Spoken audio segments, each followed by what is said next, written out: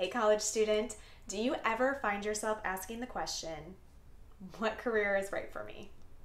Yeah, you're not alone.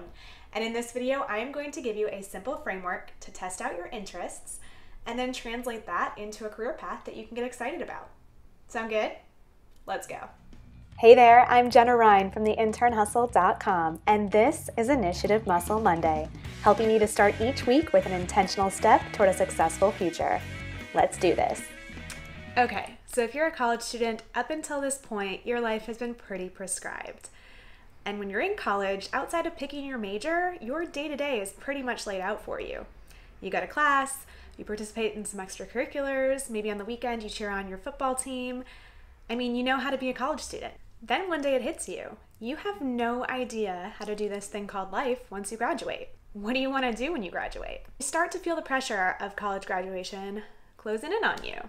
You say, What is the right career for me? And you start obsessing over your future career path, or in this case, the lack thereof. And I get it. These are big questions because your career is going to play a big role in your life. You are going to spend a lot of time at work, and you want to be happy and fulfilled and successful and make an impact. All the things. You want to make the right career decision for you. One thing I want to point out before we get started is that your career path is an evolution. You can't and you won't have it all figured out before you graduate from college. And you don't need to. What I'm sharing with you today is a three step framework to make the task of kicking off your career path a little bit easier to wrap your head around. But let's not go too far without learning where you're from. If you are a college student, a recent grad, or just a proud alumni, go ahead and give your school a shout out in the comments below. Okay, so let's just start with painting the picture. All of the endless career opportunities out there can seem like a large body of water with no end in sight. You need a way to navigate through these possibilities and land on a good fit for you.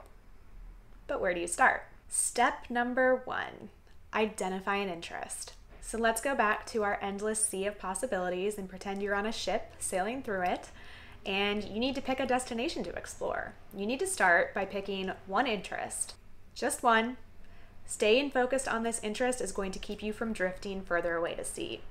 So I don't care if society is telling you to do one thing because you majored in this, or you feel like you need to compete with friends out there and have the most successful position when you graduate. Keep your focus on your one interest. Again, that's where we're going to start. That's our North Star that's the destination.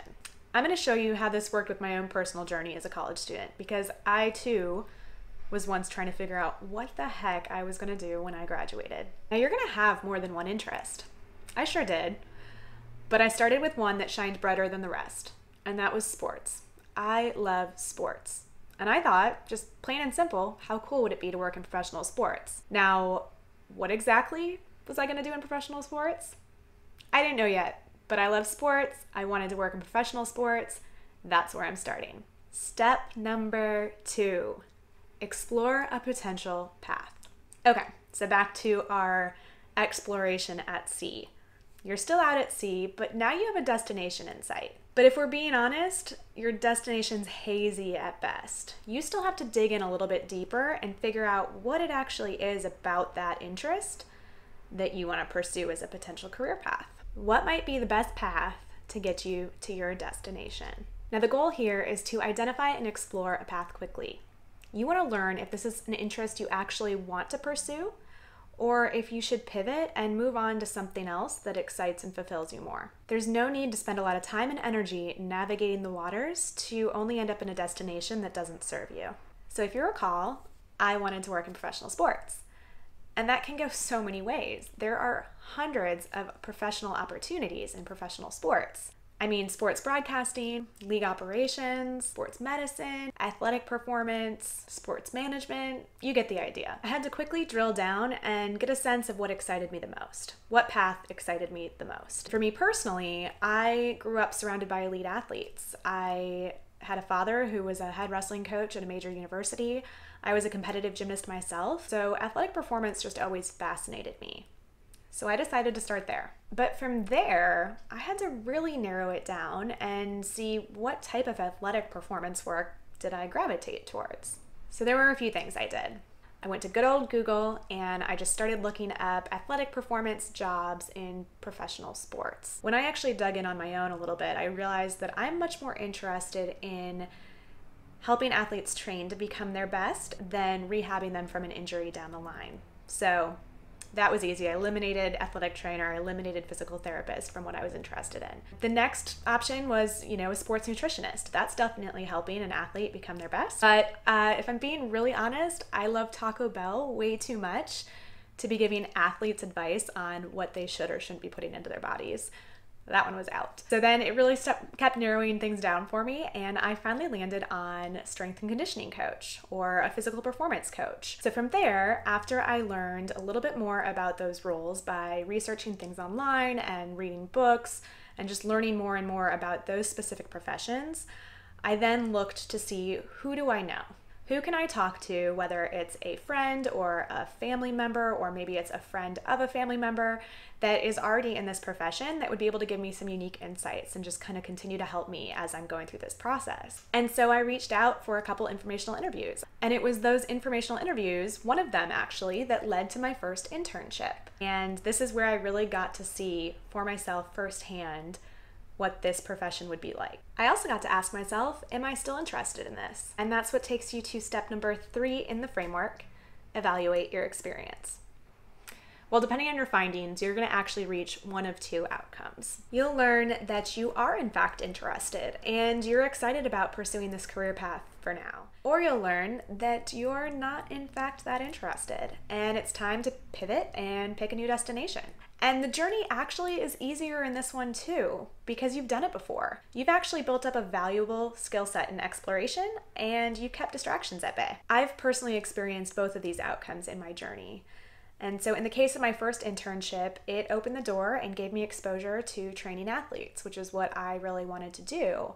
However, if we go back to step one and we remember what my interest was, it was working with professional athletes. And so I made it my goal to land my next internship somehow training athletes in professional sports. But then it was actually with my second internship that I realized it's time for me to pivot. This might not actually be what I thought it was going to be. And while I had an amazing opportunity to intern in professional sports in a training capacity, which is exactly what I had an interest in doing, I learned it wasn't really going to fulfill me for my long term career. And I had picked up new interest, still in professional sports, but I learned I wanted to maybe be on the sports management side. After going back to step number two and doing some research and some outreach to some connections that I had made in my previous internships, I realized I had a pretty solid connection to someone at a sports agency.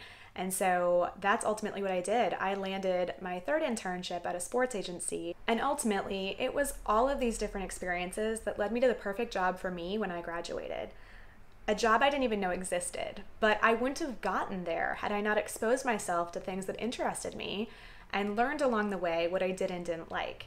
And so, while it's not going to be the same path for everyone, everyone can start by taking action now. And it's those small, consistent steps forward that are going to open your mind, open the doors to new opportunities, and get you one step closer to answering the question what is the right career for me? Because here's the thing I want you to find something that excites you. I know how good that feels. And if there's one thing I can tell you, it really just comes down to your action. If you put these three steps into play, your actions become a lot more focused and you don't have to be distracted by everything else that's going on out there. But action definitely beats flailing around and whining that you don't know what you're supposed to do when you graduate. Or perhaps even taking something that you're not excited about and you end up loathing because you just needed to get a job out of college.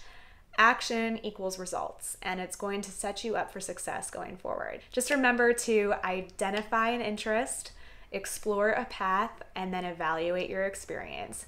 Rinse and repeat. I hope you enjoyed this video and my simple three step framework to helping you navigate the journey that is the beginning of your career. It's such an exciting time. I know it can seem scary, but just embrace it because you have a whole career ahead of you. And this is the very start where you get to kind of make it your own and really what you want it to be. If you like this video, go ahead and hit subscribe below. Leave a comment, share it out with a friend, and check the description for some additional resources that will be helpful to you on your journey. Thank you so much for watching, and I'll see you back next week for another Initiative Muscle Monday.